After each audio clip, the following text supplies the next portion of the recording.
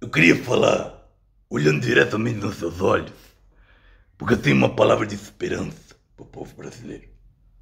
No meu governo, nós combatíamos a corrupção. Nunca teve um único caso de corrupção no meu governo. Quando teve essa corrupção, eu mesmo investiguei. Eu mesmo mandei me investigar. E é por isso que hoje eu sou inocente. Inocente pela ONU, inocente pelas Nações Unidas, inocente pelo Tribunal de Uganda, inocente em Cuba, inocente. Sou inocente. E no meu governo você se lembra, o pobre tinha aquilo que comer. O pobre, se quisesse ir para uma faculdade, ia para a faculdade. Ia para a faculdade estudar. Mamãe quer estudar, mamãe quer estudar. Vai para a faculdade, meu filho. Vai estudar. Vou, vou, sou, sou pobre, vou estudar. Era assim. O pobre podia andar não só de ônibus. Chega lá no ônibus, ah, você é muito pobre aqui. Não, não, não. O pobre podia andar de avião. Se quiser chegar, sou pobre. Você é pobre, você é pobre. Eu quero andar de avião. Então venha, venha, venha andar no avião. O pobre, se ele quisesse, ele podia até andar de, de espaçonave, Elon Musk. Chega lá, Elon Musk, eu sou pobre, o Lula é presidente. Ah, então venha, venha, venha. Agora mesmo, vamos subir espaço. Era assim. A luz não se pagava conta de luz, nem se tinha luz. E quando teve luz não se pagava mais. Tinha gás para você comer. Não precisava mais comer calango. Saía assim, ah, picanha, cadê a picanha? Tá tu vendo? Era assim. Você sabe muito bem que era assim. E Lula ontem foi no canal do da CNN, né? Dar uma entrevista para William Vac.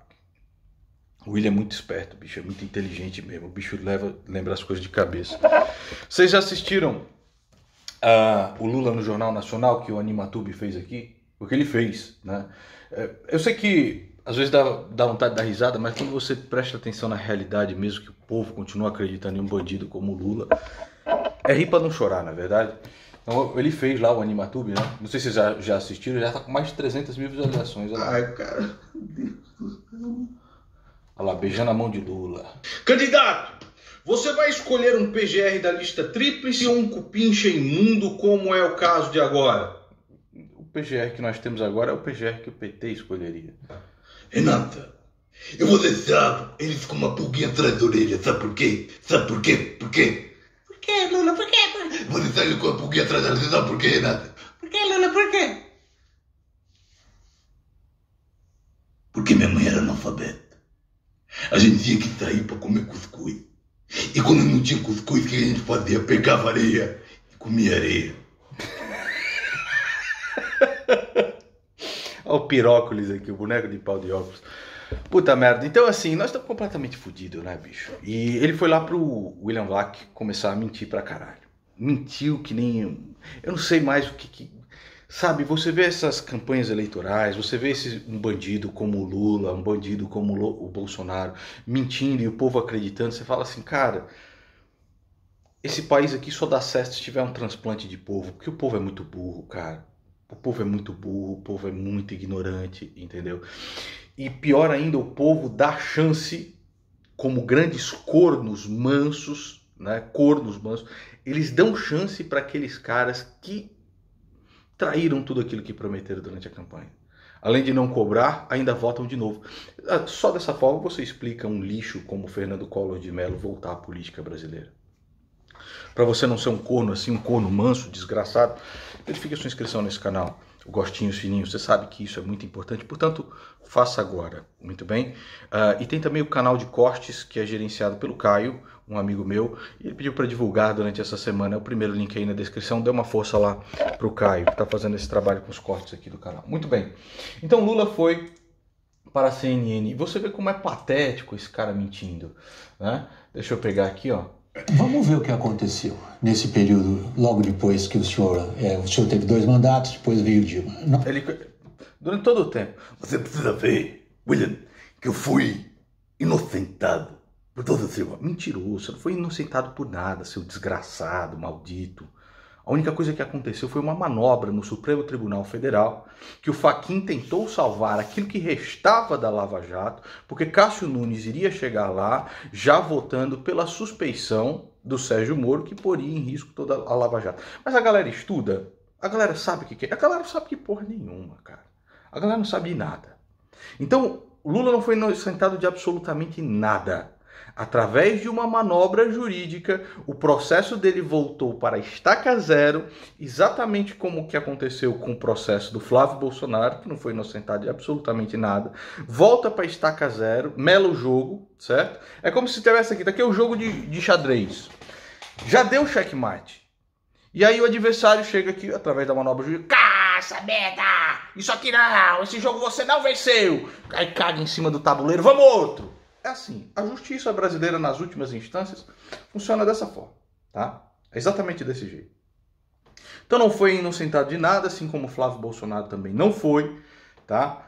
Uh, e ele continua mentindo dessa forma, mentiu do começo até o final. Que... No governo do PT, ele, o pobre comia, comia. O governo do PT assumiu em um tempo de bons ventos das commodities você não sabe o que isso significa? Vá, vá pesquisar. As commodities do Brasil estavam altamente valorizadas. O minério de ferro nunca se precisou tanto de minério de ferro. E o Brasil vendeu isso, o PT roubou a maior parte e distribuiu para o povo migalhinhas.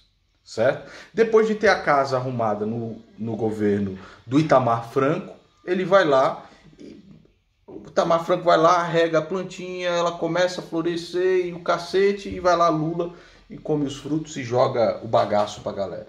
Então o bicho continua mentindo e William Wack, William Wack, é assim que se pronuncia, porra, mete nele. Então olha só, presta Vamos ver o que aconteceu nesse período, logo depois que o senhor, é, o senhor teve dois mandatos, depois veio Dilma. Nós tivemos, como o senhor descreve, uma política voltada para criar superávites primários, ou seja, a capacidade de pagar, de criar o superávit sem considerar o pagamento de dívida. Isto foi se deteriorando já no seu segundo mandato. Você está entendendo o que, que o William Vac está falando? Porque isso aqui já é uma maquiagem dos dados. Uma política de ter superávit, ou seja, o governo arrecada mais do que o que gasta, só que maquiado, porque dentro desses números não estariam ali aquilo que deveriam pagar de dívidas. E a dívida pública de Luiz Inácio Lula da Silva também explodiu e acabou na desgraça total de, de Dilma Rousseff. As propostas foi, são os números, eu não vou brigar com o IBGE. Mas olha a cara, a cara dele, sempre assim, ele é a cara de indignado. Bom? Aí a cara pro eu, William. É sempre assim, é indignado. Ele é a alma mais justa do país, olha só. Mas essa é a cara dele. Você tem que ver a cara. Você tem que prestar atenção na cara. Olha só, um pouquinho. Passou de 3,5% de superávit primário para um déficit de 4,5% ao final do governo Dilma. Não, William. Essa, essa, essa, essa, ok, a gente checa. A gente checa. O que eu quero, o que eu quero descrever. Aí ele vai procurar nas pastinhas dele e vai lá procurar nas pastas, né? Só que não encontra porra nenhuma, aí deixa as pastas de lado. Vamos falar de outra coisa. Você vai ver. Você vai ver, vai, vai prestar atenção. É pra lhe mostrar. O que eu quero mostrar a partir Agora daí lhe perguntar é o seguinte. Isso aqui era a Suécia.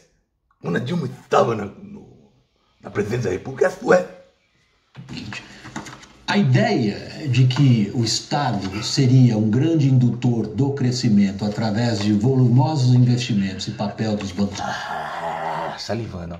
públicos essa ideia acabou no maior desastre econômico brasileiro do século. Nenhum país que não esteve em guerra perdeu tanta renda como o Brasil perdeu ali entre 2014, 15 e 16. E é, e é verdade, cara. Ou seja, ah, não fale isso, meu caro William. A fórmula, aparentemente, não funcionou. Ele está procurando a William. Ele não está procurando, ele está procurando os dados, só que ele não tem os dados do final do mandato da Dilma. Então ele chega lá e fala: esquece, William, vamos falar do meu mandato. O senhor vai insistir nela? Eu vou, deixa eu te contar. Ah, vamos largar essa porra aqui, foda-se esse negócio. Deixa eu te contar uma coisa. William, a minha mãe era analfabeta. Era analfabeta e a gente saía para comer calango quando eu vou investir na forma, foi um sucesso extraordinário. Eu vou ser... Sucesso extraordinário, maldito. Ele acabou de falar, ele acabou de falar que foi a maior tragédia do século brasileiro, aquilo que a administração petista da Dilma Rousseff fez com esse país. Tá? E todo mundo se lembra, mano. Não é possível, cara. O brasileiro ele tem, ele tem cabeça sabe, ele tem memória curta. Aliás, um dos maiores desgostos é você ver aquela galera que lutava pela Lava Jato, pela ah, anti a corrupção, para que o governo fizesse uma reforma tributária, uma reforma trabalhista, para que o governo fosse decente, hoje estão lá louvando a pemba de um bandido como o Jair Bolsonaro. Isso não é indignante, mano? Sou só eu. Porra, cara, será que sou só eu, meu irmão? Não é possível, bicho. Não é possível. Nesse país aqui, o, o fundo do poço é só uma etapa, né? Parar o, o data que você falou, vou pegar o meu mandato. Ah, já esqueci. Vamos, vamos separar. Esse dado aí não vale. Vamos pegar o meu mandato. Sim, meu irmão, você surfou durante oito anos em bons ventos de commodities. Em bons ventos de commodities. O que, você fez para a infraestrutura desse país? Nada, estamos completamente fodidos, completamente arregaçado. Você deu lá uma migalhinha para o povo, que foi o seu bolsa esmola que você deu para a galera, né? E, mas nada, mas nada, o país completamente fodido. Tá, eu vou lhe contar algumas coisas para você saber. uma- Quando eu cheguei na presidência da República, Aí ele vai começar a tirar número do cu. o nosso fluxo de balança comercial era 108 bilhões de dólares. Nós deixamos essa com quase 482 bilhões de dólares. O nosso fluxo comercial com a Argentina era 7 bilhões de dólares. Quando deixamos a presidência era 39 bilhões de dólares. A Argentina está completamente quebrada. Vocês financiaram diversos projetos na América Latina e os caras deram calote no Brasil, nunca pagaram porra nenhuma. E o cara conta as coisas como se fosse, tá ligado? Uma maravilha. A América Latina está quebrada por políticas idênticas à sua. Seu desgraçado, a sua é do Bolsonaro. Porque não mudou nada a política do Bolsonaro. A política do Bolsonaro é a mesma merda, certo? Ou você é desses gados imbecis, aí cornos, mansos? Verifique sua inscrição nesse canal, hein, cara? Senão você vai, você vai virar putinha de político mesmo, hein? Quando eu cheguei na presidência, nós tínhamos 380 bilhões de reais de crédito em todos os bancos privados e bancos públicos. Quando eu deixei, eram 2 trilhões e 700 bilhões. E o que, que aconteceu? Quanto que estava valendo o minério de ferro? E o que, que você fez para que o minério de ferro pudesse valer isso? E as commodities brasileiras? Sabe? Caralho, mano, caralho, caralho. É a mesma coisa que o Bolsonaro falar que criou emprego. Este vagabundo não criou absolutamente nada. Não criou absolutamente nada. E os empregos que foram recuperados pós-pandemia são de pessoas que escolheram assinar as suas carteiras de trabalho por até 80% menos do que o que recebiam antes da pandemia. Uma pandemia que esse desgraçado não cuidou. Que chega lá o Nelson Teich com ele com o, o plano de isolamento inteligente, ele mandou o Nelson Teich enfiar aquilo no rabo porque, olha, se, não, se você não aprovar a cloroquina, eu não quero, tá ok, filha da puta? Nós não precisamos, nós não podemos mais deixar esse país na mão de filhos da puta da linguinha presa. Se o fela da puta tiver a linguinha presa, não vote. Não vote. Porque esse país era um, um país capitalista que não tinha capital. Sabe? Uma, uma coisa importante que as pessoas não sabem é que o O que, as pessoas não sabem? O que, as pessoas não sabem, Lula? maior processo de capitalização da história do capitalismo no mundo Isso é um fela da puta. O maior processo de capitalização da história do capitalismo no mundo Fui eu que fiz. Não tinha dinheiro. Não tinha capitalismo. Quando as pessoas vinham dizer, eu trocava o calango. Eu tinha um calanguinho. Você quer trocar esse calango pelo quê? E aí eu peguei e inventei dinheiro. Inventei de dinheiro, William. Fela da foi feito aqui, na cidade de São Paulo, na sede da, do Bovespa, eu Até ele ri, mano. Até ele ri, caralho. capitalizei a Tô muito louco, tô inventando a porra toda, foda-se. Quem se foda? Você acha que o quê, mano? A galera quer comer picanha, a galera quer entender de superávit. Sabe nem que superávit? Foda-se, vou tirar número do cu aqui. Sobrar depois da descoberta do pré-sal. Então esse país estava funcionando bem. A Dilma no primeiro ano cresceu 4%, depois cresceu 2,9%. E é uma merda. É uma merda, é patético. Um país como, como o Brasil crescer 4%. E depois foi negativo, e continua negativo até agora. Toda essa mentira que o Jair Bolsonaro conta hoje, que o PIB está crescendo, é um mentiroso desgraçado. O PIB teve uma queda gigantesca. Se cai 15% e você recupera 2%, ele acha que teve uma grande. Olha como o PIB está crescendo. Gente desgraçada, meu irmão. Que gente desgraçada, que gente puta, que gente puta. Só gente puta, puta. A crise mundial foi se agravando. A Dilma percebeu que tinha que fazer. Nós fizemos a desoneração de quase 540 bilhões, o que eu acho que foi um equívoco. Quando a Dilma tentou mudar, ela mandou medida provisória tentando mudar, o Congresso Nacional rejeitou. Desoneração. É o Congresso não deixou a Dilma trabalhar. Porque a Dilma queria. Eles não estão deixando o nosso mito trabalhar. Hum, Meu presidente. E se você dá uma olhada aqui na entrevista, meu irmão, por isso eu tô falando, não adianta, cara, esses políticos não. Você pega aqui os comentários, Lula CNN, tá aqui, ó, Lula CNN. Olha lá, você vai ver aqui os comentários, olha só. Meu presidente, é o Lula. Parabéns pela entrevista, é o entrevistador, protagonista, o Lula, tá meu presidente. É isso aí, cara. Sabe?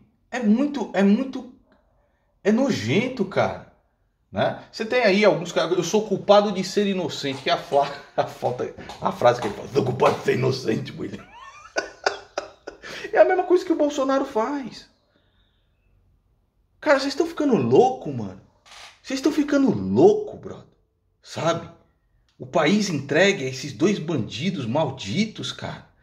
Um que descobriu tudo aquilo que prometeu durante a campanha, cara. Dos dois, dois É desgraçados. uma renúncia fiscal importante, Pois é, mas não é rendeu impor- emprego como é se esperava. importante se você O pretende contrapartida. É importante se você fizer Mas não houve. em tempo de crise com contrapartida. houve, desgraçado. No meu governo eu fiz 47 bilhões acertados entre patrão e sindicato e depois o, o- o- no governo da É, que Dilma depois, é que foi depois. feito 540 bilhões de 12 Quando o senhor começou o governo, o senhor não reviu Tira do posto os, os números foram. nenhuma privatização do 500 milhões de brasileiros mortos. É. Ele matou todos os brasileiros e ainda colocou mais, mais 300 milhões ali para morrer também, só pela, no crédito. seu antecessor Fernando Henrique. Agora o senhor está falando em rever as Não, eu não privatizações falei do em atual rever governo. privatização, eu não falei rever privatização. Ah, vai se fuder. Enfim, olha, é o seguinte, nós vivemos num país de bandidos desgraçados. Quem pode nos salvar? Nós mesmos. Como? A partir do momento que você deixar de ser um gado maldito de político. Um gado maldito desses dois bandidos, ou Lula ou Bolsonaro. A única chance que nós temos é cobrar quaisquer que seja o bandido que chegue à presidência da República e escolher bons deputados, tá bom? Aqueles que pelo menos cumpriram e honraram aquilo que prometeram durante a campanha. É a única coisa que dá para fazer e cobrar, certo? Porque quando eles têm medo do povo, aí, meu irmão, eles andam pianinho. Então é a única chance que nós temos. Verifique a sua inscrição nesse canal agora mesmo, isso é muito importante. Gostinha, chininho. E é isso. Mais um dia no País do Bandidão aqui. Um grande abraço a todos vocês.